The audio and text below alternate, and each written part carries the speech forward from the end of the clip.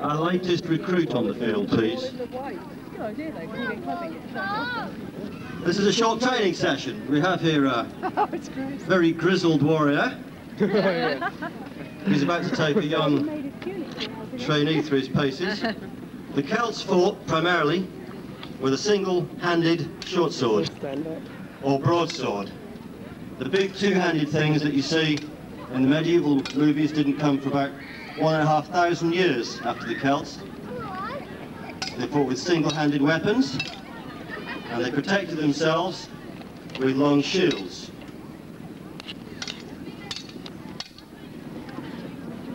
You dropped your knife.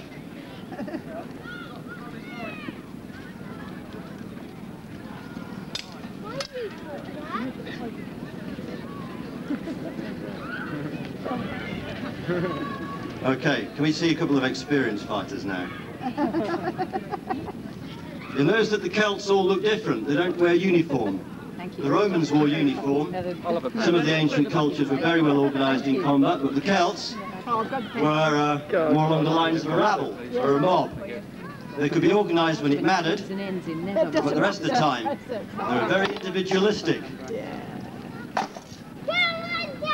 We have some evidence to suggest that certain tribes would paint their shields a particular colour or have a particular design on their shield, but their clothing and their weapons are always different. These are two typical Celtic warriors. They have no armour.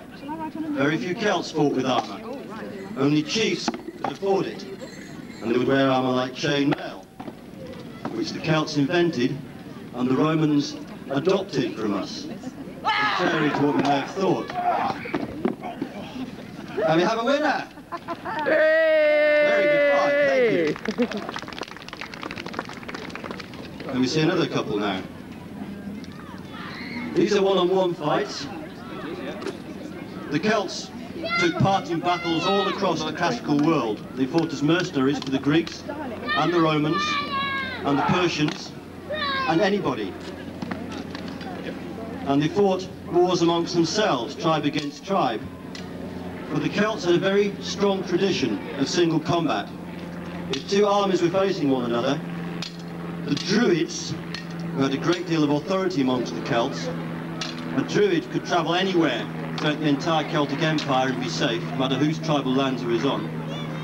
A Druid might decide that he didn't want to see a big battle fought, and would ask for trial or combat of champions, where each tribe would choose its best fighter, and the two fighters would fight in view of both armies, and whoever won would be considered to have won the battle for his entire tribe.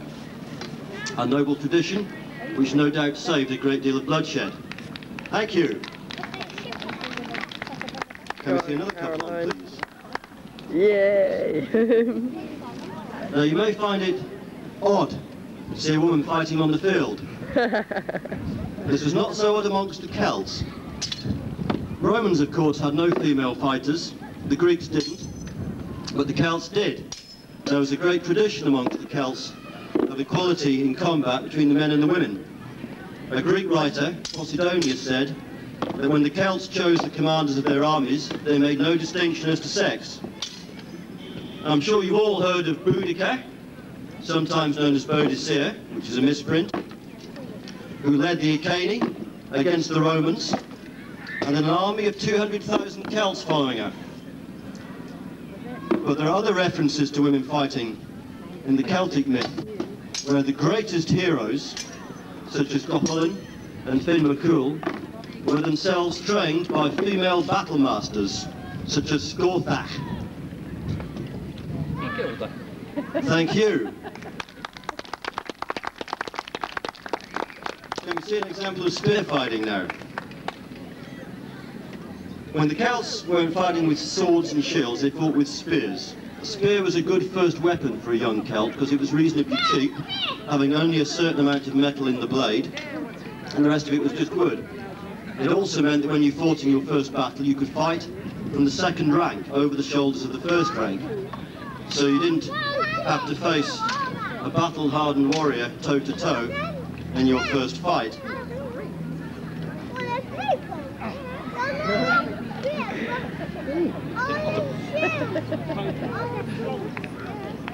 That's a nice piece of life work. I think it's time we uh, we did a couple of raiding parties fighting one another. Shall we see a couple of lines, please? We're now going to split this little tribe, rather like the affair of Deirdre and Noisiu split the tribe of Ulster between Fergus's men and those of King Conchobar. It's a very esoteric reference. If any of you got that, I'd, love, I'd love to talk to you later on. When Celts fought, they fought over land, cattle, insults, honour, all kinds of things. It was said of the Celts that they were madly fond of battle and quick to war, but were otherwise not of an evil disposition.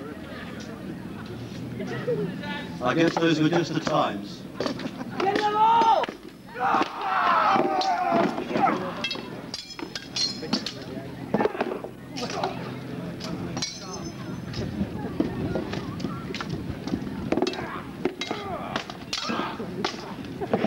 It's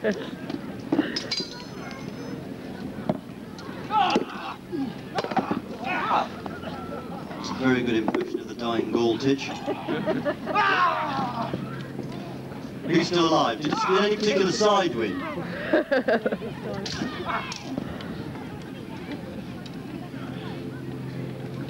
Is any side prepared to surrender?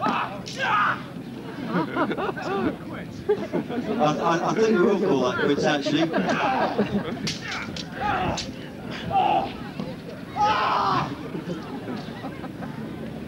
That's two one-legged warriors left now.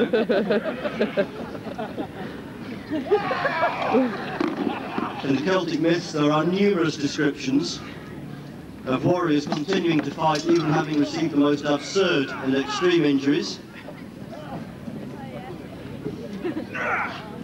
But Richard's won! Well done! Now, that was uh, that was two small raiding parties fighting one another. Let the dead arise. Does, does anybody have the energy before we go off? Do a circle of treachery. Yeah. Right, take your positions, please. The circle of treachery is not actually Celtic. It's a reenactor thing. The, the rules are very simple. Anybody who wants to take part stands in a large circle. And then when I say go, it's every man or woman or his or herself. And the last person standing is the winner.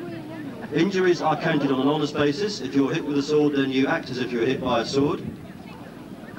Nobody's wearing armour, so there are no complicated rules regarding number of hits versus chainmail. Are we ready? Get set. Fight with honour!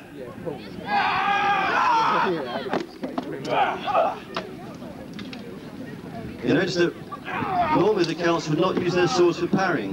That's why their swords had such small hilts. They just weren't used for that. The shield was used for defence. Stomped on by the living. Well, that was quickly. Uh, you may think that was dishonourable, but this is the circle of treachery. Very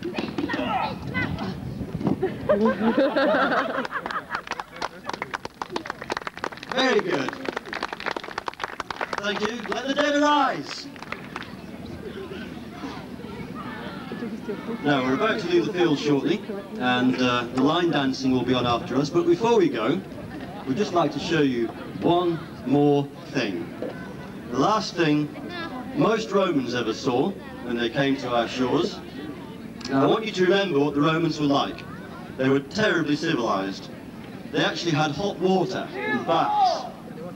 And they came to this country on the emperors of divine Claudius. And this is what they had to face.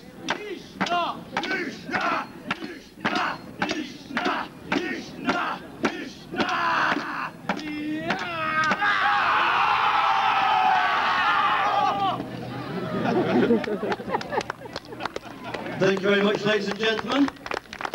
We were Brigantia.